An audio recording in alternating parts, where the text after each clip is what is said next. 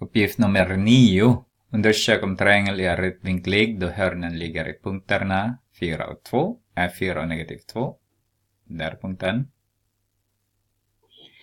Eh, negativ 3, 5. Den punkten.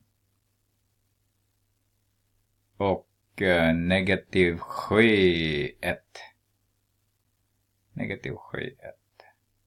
Där punkten. Ska infoga linje så att ni ser dem. Infoga linje. Den linjen går dit.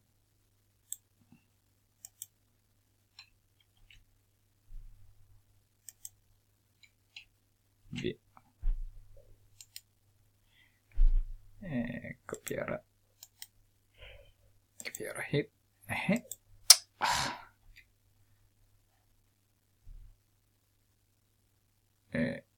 skulle jag göra? Där kopierar jag ju. Så.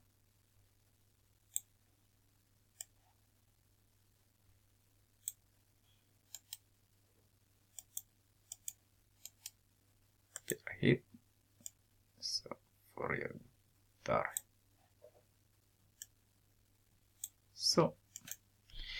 Skulle bevisa att den här, om vi kallar den för A, vi kallar den för B, om vi kallar för den C, om de är lika, äh, om den är rättvinklig, A upphöjt till 2 adderar med B upphöjt till 2 är lika med C upphöjt till 2. Det är den som vi ska leta efter.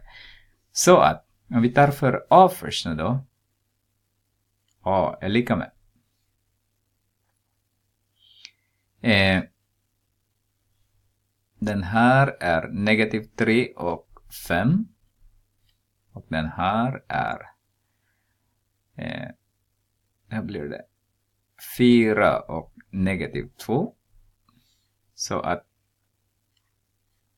avstånd formell, avstånd på, avståndet mellan de två punkterna är, är negativ 3 minus 4 i kvadrat adderar med 5 minus negativ 2 i kvadrat. Så att vi har eh, vad heter den? 49, alltså negativ 7 upphöjt till 2 är 49. Sen vi har också 49. 5 plus 2 är 7 upphöjt till 2 49. Och blir det 98. Roten ur.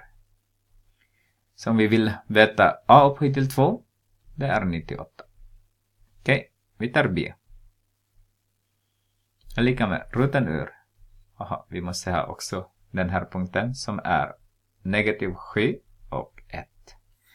Så har vi x först. Vi har negativ 3 minus negativ 7 i kvadrat adderar med 5 minus 1 i kvadrat. Så har jag roten ur 10, nej, negativ 3 adderar med 7 är 4, då är det 16. Och därmed 16 så har vi roten ur 32. Då har vi b upphöjt till 2 är lika med 32. Aha, kanske ni inte förstår varför. Ja, jag gör så här. a upphöjt till 2 är lika med roten ur 98 eh, upphöjt till 2. Hela den här. Så att de tar varandra så har vi 98. Det är samma som vi gör det här. Tar vi upphöjt till 2 så tar vi också upphöjt till 2 här. Så har vi 32. Ska vi titta på C. Är lika med roten ur x först. Så har vi negativ 7 minus 4 i kvadrat adderar med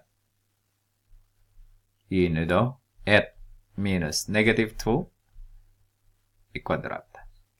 Så har vi negativ 11 i kvadrat är det 121. Roten ur fortfarande. Adderar med eh, 3, 9.